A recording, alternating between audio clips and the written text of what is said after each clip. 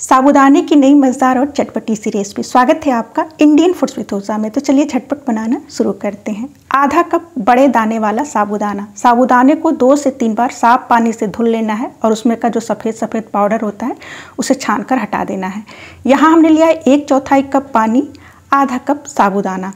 और साबुदानों को धुलने के बाद हमने एक चौथाई कप पानी डालकर साबुदाने को रात भर भिगो कर छोड़ दिया था।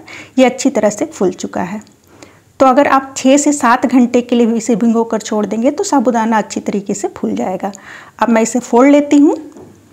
इसमें पानी बिल्कुल नहीं है, बिल्कुल सूखा सा है। ये देखिए, जब मैं इसे नीचे गिराऊँगी तो ये पूरे दाने अलग अलग हो जाएँगे और हाथ में मेरे बिल्कुल पानी नहीं लग रहा है। तो इस तरीके से ये बिल्कुल सूखा सा होना चाहिए। अब एक दाने को मैं मैश करके देख लेती हूँ। ये पूरी तरह से फूल चुका है। आटे की तरह मैश हो जा रहा है। इसे किनारे रख देते हैं। गैस चलाकर तड़का पैन गरम करेंगे। एक चम्मच देसी घी डाल देंगे। इसमें हम 10 से 12 करी पत्ते डालेंगे और गैस ऑफ़ कर देंगे। नहीं तो सारे करी पत्ते छटक करके बाहर आ जाएँगे। थोड़ा सा इसे हम भून लेंगे। दोबारा से हम गैस को ऑन कर देंगे। थोड़ा सा इसे कड़क होने देते हैं। गैस ऑफ़ कर देंगे और साबुदाने में इसका तड़का लगा देंगे। अच्छे तरीके से मिला देंगे। सारे दानों में एक घी की एक कोटिंग बन जाएगी इस तरीके से। आधा टुकड़ा नींबू का रस निचोड़ देंगे। इस तरीके से बचा हुआ नींबू रख देंगे किनारे और इसे अच्छी तरीके से मिला देंगे। और मिलाने के बाद हम इसे किनारे रख देते हैं, चलते हैं गैस की तरफ़। गैस चलाकर कढ़ाई गरम करेंगे। एक चम्मच देसी घी डाल देंगे। आधा चम्मच जीरा डालेंगे, इसे चटकने देंगे।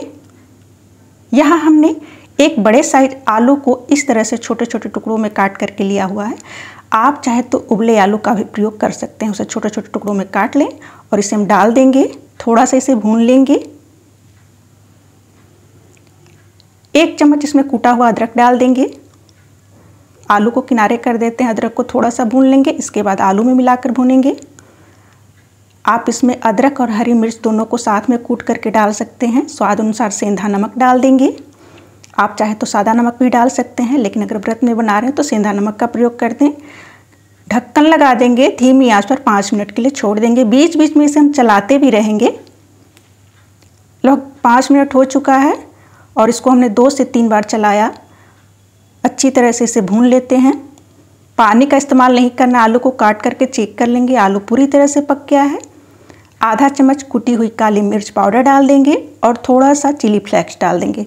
तो अगर आप व्रत में लाल मिर्च नहीं खाते तो इसे ना डालें, सबको अच्छी तरीके से मिला देंगे। अब ये साबुदाने को डाल देते हैं।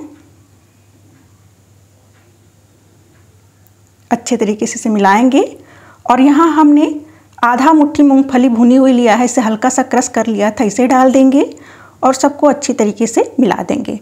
आप चाहे तो घी में पहले मूंगफली को भून कर भी इसमें डाल सकते हैं। थोड़ा सा बारीक कटा हुआ धनिया की पत्ती डाल देंगे। और ये बचा हुआ नींबू का रस डाल देते हैं इसमें। और इसे हम दो से तीन मिनट तक इस तरीके से भून लेंगे। तो जैसे जैसे हम भूनना शुरू कर देंगे, साबुदाना बिल्कुल ट्रांसपेरेंट हो जाएगा। सबको अच्छी तरीके से मिला देंगे। और ये देखिए, बिल्कुल खिला खिला ये साबुदाने का पोहा बन करके तैयार हो गया है। आप देख सकते हैं, बिल्कुल भी इसमें चिपचिपाहट नहीं है। अगर आप व्रत में टमाटर खाते हैं तो थोड़ा सा इसमें बारीक काट करके टमाटर भी आलू के साथ पका लें, उसके बाद साबुदाना डाल करके पकाएँ, और ये साबुदाने का पोहा बन करके तैयार है। काफ़ी यमी, काफ़ी हेल्दी, काफ़ी टेस्टी और बहुत कम समय में इस तरीके से जब आप साबुदाने का खिचड़ी या पोहा बनाएँगे तो ये बिल्कुल इस तरह से खिला खिला बनेगा।